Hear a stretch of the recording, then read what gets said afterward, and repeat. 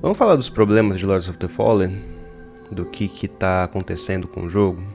E sim, vamos falar dos problemas primeiro, porque não tem muito o que falar sobre as partes boas, porque assim, é um Souls-like, é um jogo que tá com um cenário muito bonito, é um jogo que tá bonito, a jogabilidade dele é gostosa, é divertida. Você chamar um amigo para jogar também é bem divertido, você explorar esse mundo aberto. É um, acho que é o primeiro Souls like que você pode começar o jogo do início ao fim, de, quer dizer, ir do início ao fim no jogo sem você ter que ficar chamando seu amigo várias e várias vezes pro seu grupo. Não que o seu, o seu progresso salve no jogo de um amigo, mas uh, diferente de Elden Ring, o Souls-like da vida, né, os jogos do Miyazaki da From Software, você coloca o sinal em algum lugar e você joga com seu amigo até vocês matarem um chefe. Depois que você matou o chefe, você, você e seu amigo se separam, cada um volta pro seu jogo. Em Lords of the Fallen não, tá? No Lords você sumona seu amigo, você pode até mandar convite, não precisa ficar colocando o sinalzinho no chão, você pode mandar um convite pro seu amigo.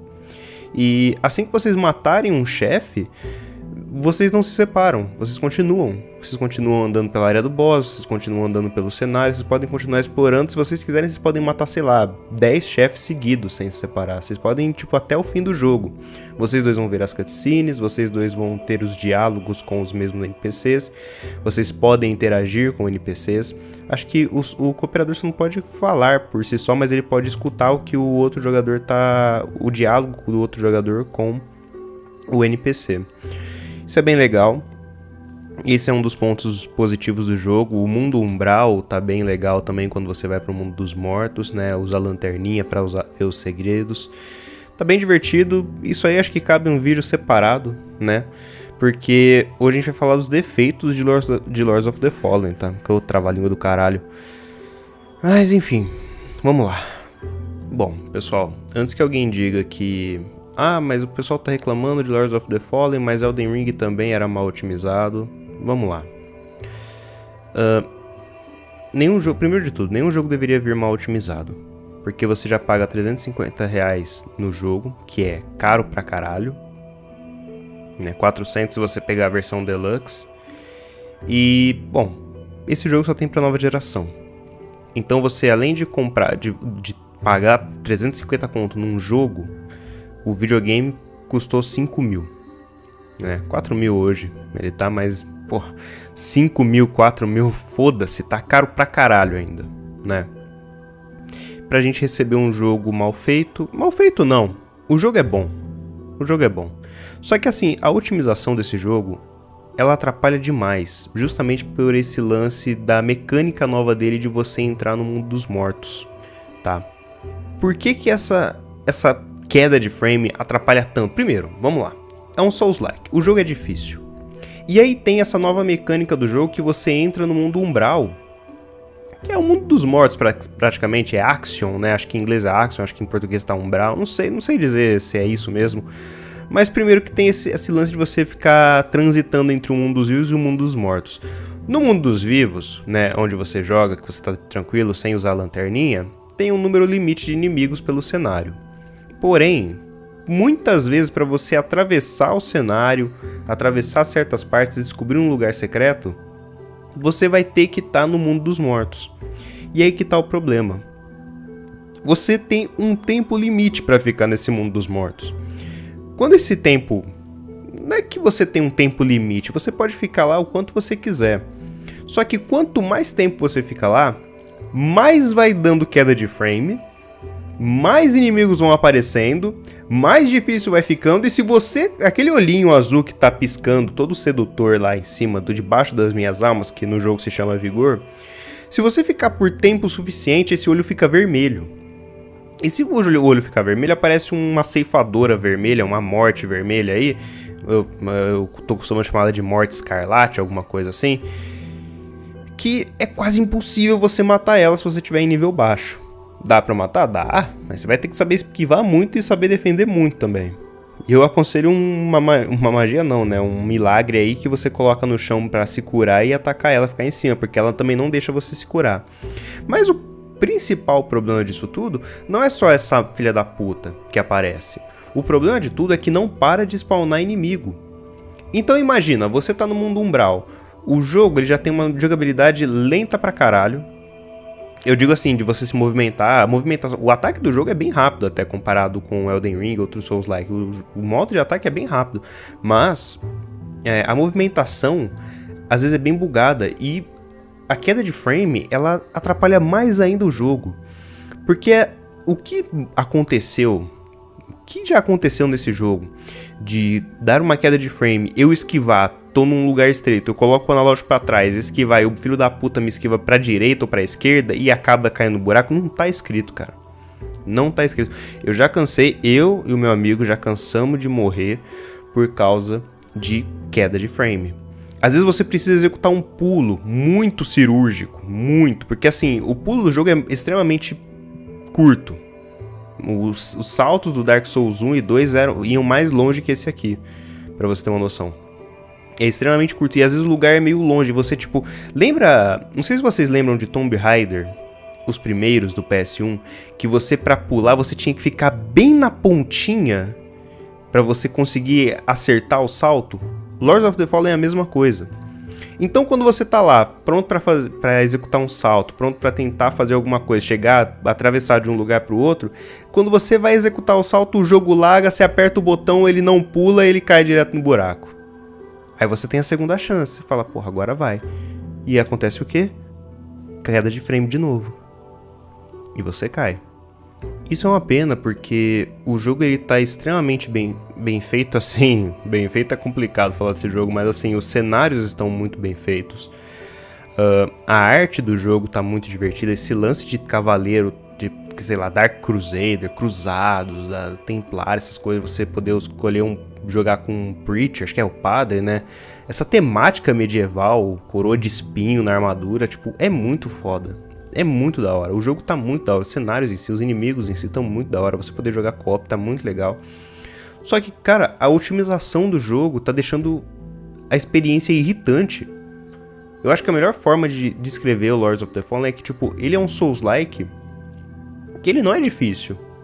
Ele tem um co-op aí pra te ajudar. Você pode chamar um amigo aí, você pode ficar revivendo aí. Você pode deixar seu amigo matar o chefe pra você enquanto você fica lá defendendo com o escudo e revivendo ele né? A famosa acessibilidade. Eu mesmo jogo assim, tá? Não tô criticando não, eu jogo assim, tá bom? Eu gosto de, eu gosto de Dark Souls por causa do co-op. Se eu tiver que optar em um Souls-like offline ou um, um Souls-like co-op, eu prefiro o co-op porque eu me divirto com meus amigos, né? Eu prefiro muito mais jogar Dark Souls co-op do que single player. Mas acho que dá para resumir que Lords of the Fallen é um jogo irritante ele tá irritando por causa dessas quedas de frame. Porque não tem nada pior do que você morrer, perder suas almas para um bug do jogo, para uma má otimização, do que é, por erro seu mesmo. Porque normalmente quando essas cagadas acontecem, a gente fala, putz, é, eu não vou querer upar agora, eu quero juntar mais almas porque eu quero, uh, sei lá, upar tudo de uma vez. Aí você fala, putz, aí você arrisca à toa não era para você ter arriscado, não era para você ter deixado de gastar as almas, era pra você ter gasto. Você, não, eu vou ficar com as almas aqui, eu vou arriscar, vou avançar, avançar. Aí você morre e você fala, putz, vou ter que voltar lá pegar as almas. Aí você vai lá e morre de novo. Culpa de quem? Culpa sua. O Lords of the Fallen não. Lords of the Fallen, você acaba morrendo por culpa do jogo. Pela má otimização, pelos controles que às vezes bugam, como eu disse, às vezes você aperta para esquivar. Eu não sei exatamente como está funcionando direito esse jogo, porque às vezes você aperta para esquivar para trás, o boneco esquiva do lado, esquerda, direita. Às vezes você dá um comando para atacar só três vezes, o boneco vai lá e termina o combo, ataca 5, 6, você fala, porra, vai lá e toma uma porrada para aqueles inimigos que não tomam stagger. Cara, a experiência de Lords tá irritante é bem irritante. Eu ainda me divirto no jogo, porque como eu disse, eu tô jogando em co-op. O jogo tá divertido assim, jogando cooperativo com um amigo. Agora eu fico imaginando quem tá jogando sozinho. Quem tem, quem quer a experiência solo do jogo. Eu tava recentemente vendo o Era Games jogar esse jogo, fazer uma live né, do jogo antes do lançamento. Ele tava jogando solo, né? Tava jogando sozinho. E ele tava muito puto com o jogo. Ele tava bem estressado assim, falando, pô, por que, que não adiaram para lançar o jogo completo tudo mais? E eu, como não tinha jogado o jogo ainda, eu falei, porra, mas Dark Souls, porra, mas Elden Ring também veio com queda de frame. Só que, cara, Lords é pior. Elden Ring dá umas quedas de frame nos lugares que, tipo, os inimigos são de boa. Em Lingrave, no lançamento, não tava tão ruim assim. Eu mesmo, né? Eu joguei no PS5, não tava tão ruim assim. Só que aí eu jogo. Quando lançou o Lords, eu joguei. Infelizmente, né? Eu fiz o primeiro vídeo falando. Nossa, não sei como que a galera tá criticando esse jogo. Uh, eu vi lá, Eurogamer deu nota 40 e tudo mais, mas a Eurogamer deu nota 40 porque simplesmente falou que não é Dark Souls, né? Não é, não é do, da From Software. Mas muita gente estava criticando a queda de frame. E no primeiro vídeo que eu lancei aqui no canal, jogando cop com meu amigo, eu cheguei a comentar, falei assim, cara, o jogo não tá com tanta queda de frame assim. E mesmo que dê umas quedinhas de frame, tá de boa. Aí quando você chega, avança um pouco mais no cenário, nas, né, no jogo, quando você vai chegando lá para o meio, um, uma, um terço do jogo, você vai avançando um pouquinho mais, vai chegando lá para metade Cara, o jogo tem hora que fica quase injogável. Na Vila Incendiária foi, acho que a pior parte do jogo para mim. E é um cenário bacana, é um cenário legal. Só que a experiência ela é arruinada pela otimização. Simples assim, pela otimização. E eu não tava entendendo isso que o cara tava falando, que o Everton do, Era Games estava dizendo. Ele falou: bom, gente, o jogo tá extremamente mal otimizado. Era para eles terem adiado um pouco mais o jogo e agora tá aí, ó, essa experiência merda que todo mundo tá criticando o jogo. E se não me engano, eles os desenvolvedores disseram que o jogo estava rodando liso na Unreal 4. Só que parece que essa transição da Unreal 4 para 5 que deu problema. Bom, é meio difícil opinar sobre isso porque a gente tá na nova geração, né? A gente quer jogo bonito. Só que a gente também quer um jogo funcionando bem, né? E de tudo isso, eu acho que esse jogo não vale a pena vocês pegarem, tá? Espera uma promoção, espera patch de correção, espera a galera dizer que o jogo tá liso, rodando tranquilo. Agora que eu já comprei o jogo, eu provavelmente vou fazer vídeo falando dos patches, se melhorou, o quanto melhorou. Mas é isso aí, pessoal. O jogo tá quebrado, o jogo tá rodando mal. Provavelmente haverá patches de correção. Não sei se vão consertar tudo, porque o jogo ele parece ser bem pesado, sabe? Porque você anda entre dois reinos. Tem esse lance do mundo umbral de você ir pro mundo dos mortos. E isso parece pesar muito o jogo. Tanto é que essa última atualização, como eu disse, né, eles lançaram uma atualização recentemente, e essa última atualização meio que deu uma reduzida na quantidade de inimigo que vem nesse mundo dos mortos, para diminuir um pouco, né, a queda de frame. Só que ainda assim tá acontecendo, né? Ainda assim da queda de frame, e como eu disse, não era para vir assim no lançamento, tá? E não adianta falar, ah, mas eles estão vendo isso, ah, mas pelo menos os desenvolvedores estão prestando atenção, cara, o jogo era para ter vindo pronto. Você paga mais caro no jogo para ser beta tester. Não dá, né? Não dá. Isso só fortalece o argumento da galera que fala, poxa, uh, eu não vou ser beta tester desse game. Pô, o jogo parece estar tá incrível. Sim, o jogo está incrível.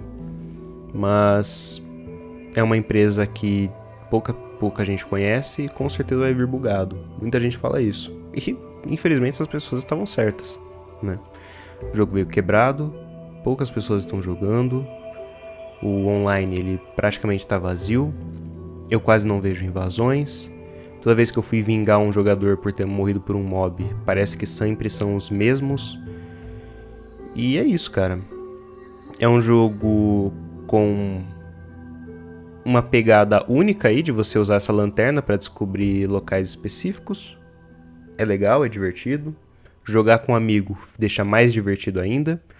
O jogo é como um Souls-like, ele tá desafiador, tá divertido, tá legal. Você bufa suas arminhas, bufa, deixa ela brilhando, coloca as roupinhas, enfeita o bonequinho aí do jeito que você quer. É bem legal, é muito foda. Mas, né, ele tá quebrado. Eu ainda vou fazer um vídeo falando da, do que eu gostei de Lord, em Lords of the Fallen, porque que o jogo tá bem divertido. Mas assim, diferente desse vídeo, eu não vou chegar e falar se vale ou não uma pena pegar ele. Porque já tá aqui, ó, não vale a pena. Né, o jogo tá quebrado. A não ser que, sei lá, por algum milagre, nessa semana eles lancem um patch de correção que consertem, conserte, sei lá, 90% da queda de frame. Enquanto isso, cara, não vale a pena. Tá? Não vai valer a pena vocês pegarem esse jogo. A não ser que você esteja hypado. O jogo tá impossível de jogar, tá impossível de zerar? Não, não está impossível. Só que é um jogo. É um, do, é um Dark Souls da vida, né, gente? Isso aqui é um Souls-like. Poxa, o jogo é difícil. O jogo é complicado. Não era pra ter queda de frame. Mas é isso aí, tá? Essa é minha opinião sobre. Minha opinião, né? Olha lá. Eu tô tão desanimado com esse jogo, porque eu nem tô conseguindo falar direito, diferente da minha empolgação que eu tava no vídeo que eu fiz falando sobre o co-op das classes. É bem triste isso aí, porque a gente sabe que, pô, capaz, é capaz de lançar o PlayStation 6, o PlayStation 7 e os jogos vão continuar vindo mal otimizados, eu não, não entendo. A gente já tá num, num, ponto que os gráficos são reais, não precisa lançar engine nova, não precisa melhorar gráfico, o cara só faz um jogo bem feito, né? É o mínimo que a gente pede, um jogo bem feito, um jogo que funcione, um jogo divertido. Não precisa ter o melhor gráfico do mundo, não precisa ter, uh, sei lá, o maior cenário do mundo, né? Não precisa ser curto também o jogo, mas também não precisa ser aquela coisa absurda que você fala, caralho, tem tanto detalhe, mas tanta coisa no jogo que o jogo roda em slideshow. É foda, né? É difícil achar um meio termo.